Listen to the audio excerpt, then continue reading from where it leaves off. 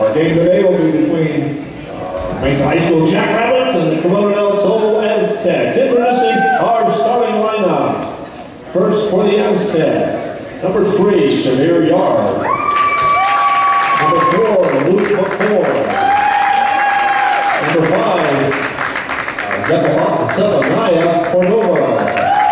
Number 23, Derek Sorote. Number 35, Ken Summers. The starting lineup for the Aztecs of Corona del Sol. The starting lineup for the Mesa High School Jack Jackrabbits.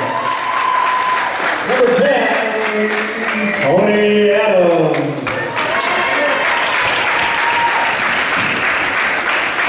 Tony Adame.